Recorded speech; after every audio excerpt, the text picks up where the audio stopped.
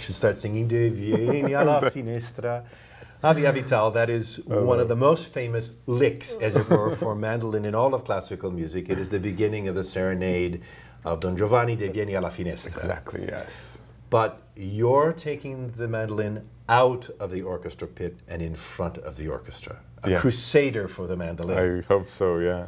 when did this bug bite you?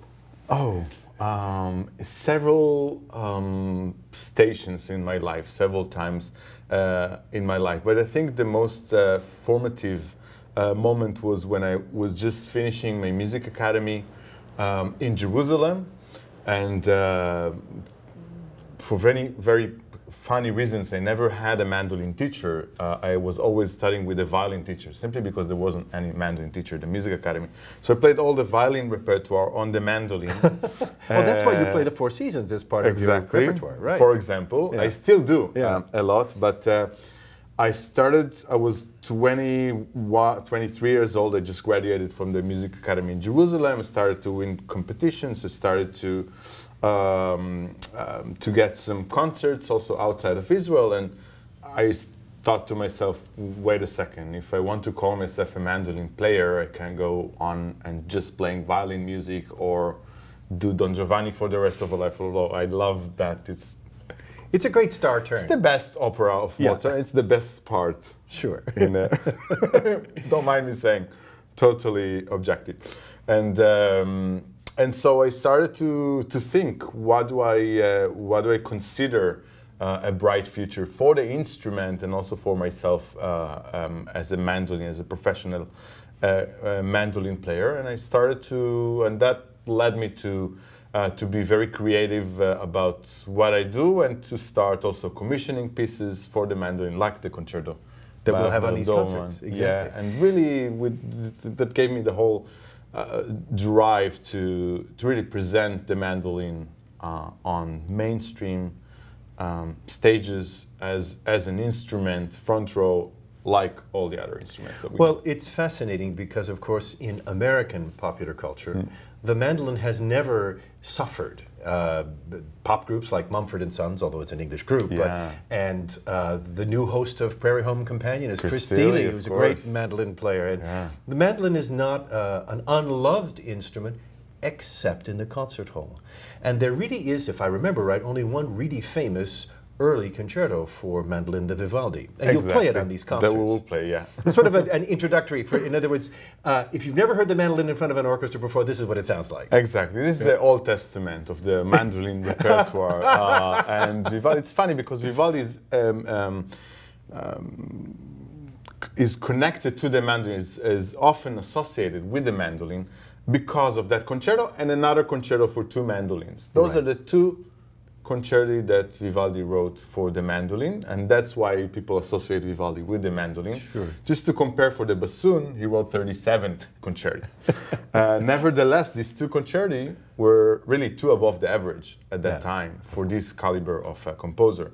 Uh, and therefore, we all, we mandolin player around the world are grateful for uh, Vivaldi to have written this sweet uh, uh, two concerti. Why are you so passionate about this instrument? What what mm. makes it so special for you? You could have played violin, cello, trumpet, yeah. anything. Why did you gravitate? Well, for one thing, it's it's the fact that it's still to be discovered mm. uh, uh, by the audience and and by myself. You know, when I commission a piece and uh, I get the score for the first time, I put it on my uh, music stand and I start reading it.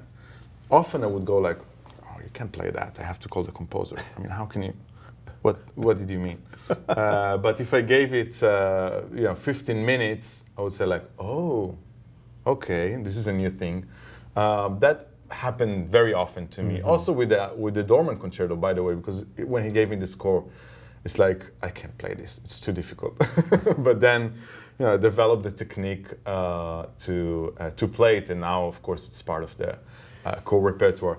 For another thing, it's the fact that. Um, I walk on stage knowing that 80%, 90% of the audience, for them it's the first time they're going to hear mandolin uh, live, at least in this context. Uh, and this is great energy to work with. It's really great, and I don't think there are a lot of violin or pianists uh, that, that can say so. The Vivaldi concerto and the general image of the mandolin is, for lack of a better cliche, sunshine. Yeah. The Avner Dorman piece is not all sunshine. That's true. It is a darker work. It's a work that explores some of the deeper emotions, which again is new territory for the stereotype of the mandolin. Exactly. Did you two work on this particular idea of making a piece that is a little more, uh, has more emotion in it? Yeah, a lot, of Hmm. course. Uh, if in different aspects, Avner Dorman is one of these composers who I like to work with because I felt that this is a tailor-made uh, Hmm. piece. So I came to him and I said, I said, the mandolin needs the concerto de Aranjuez.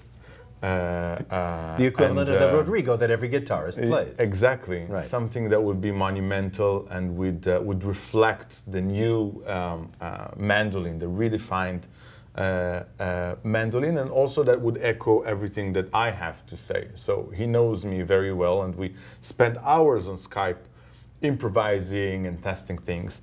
Uh, and also, one thing that I, that I asked him uh, right at the beginning is what does the mandolin say to you? When I say mandolin, what do you think of? And he says Italian film music, um, Middle Eastern sound, um, bluegrass, uh, choro from Brazil, you know, all, all these All the associations Right. uh, that, that he amazingly put inside his concerto. And if you go through the, um, through the different sections, I could really trace what, what was his, what he was thinking at every moment of the, of the piece and where did he get the inspiration or the imagination uh, for that section. So it really combines everything that the mandolin said to him in his imagination. Um, and also, I feel it's very fitted uh, to me as a performer. It's very fitted to the to the way I see the new mandolin, the concert hall uh, mandolin.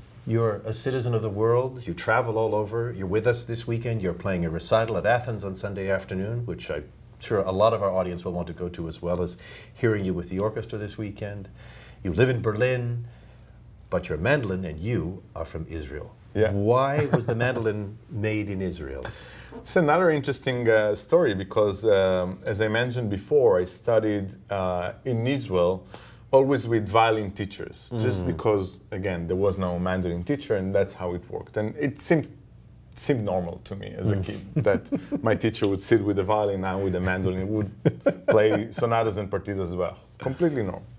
Uh, but because I had to deal with all this uh, violin repertoire, the traditional mandolin was just not enough for it. There weren't enough tones. It, it's small. It's a little bit um, Limited. You, you can't feel. Yeah, exactly. You cannot uh, feel the sound in a concert hall of 2,000 or 3,000 uh, people um, with it. So there was the need for a new instrument, new mandolin that would be fitted for a modern concert hall for such a demanding repertoire, like the, the you know Rondo Capriccioso by uh, uh, Saint-Saëns and so on. So really demanding virtuosic uh, violin repertoire. And luckily, uh, there was this um, artist, uh, uh, genius luthier in Tel Aviv, Arik Kerman, that, uh, that was also in, driven by that. He wanted to build mandolins like never before. He wanted to build an, an instrument that would be fitted, that would be loud, that would be considered um, uh, as, um, as the other uh, instruments. He, he chose the best um, uh, wood uh, from the wood dealer. He never told them, by the way, that he's building mandolins with it. He was like, he's saying, no, I'm building violins with him, so they wouldn't give him the cheap wood, uh, but really select a good one for him. So he didn't. Um, uh, yeah, so he, he just developed this uh, mandolin, which uh, uh, which is it's flat back a little bit like the American mandolin, but has uh, two soundboards, for example, and all kind of inventions that make it uh, A concert mandolin. Exactly. So we may be looking at a Stradivarius of our own time sooner I- or yeah. later. From Cremona to Tel Aviv. Not a bad journey. Would you uh, finish off our little time together with a small serenade? Sure. Thank you. Well, this is. I'll play a little bit of the uh, mandolin concerto that we're going to play. Uh, just the tutti of the beginning uh, that we're going to play uh, together with the orchestra. The interesting thing about this uh, mandolin concerto by Vivaldi uh, is that Vivaldi indicates the entire orchestra to play pizzicato throughout the concerto. Uh, for his time, it's really it's avant-garde. Yeah. You know, and the whole orchestra playing only pizzicato. There's three movements, and uh, and that was Vivaldi's way to kind of bow to the mandolin, like the, or, the entire orchestra is paying homage to exactly this beautiful be- becoming a, a mandolin orchestra to support it. So it's go like this.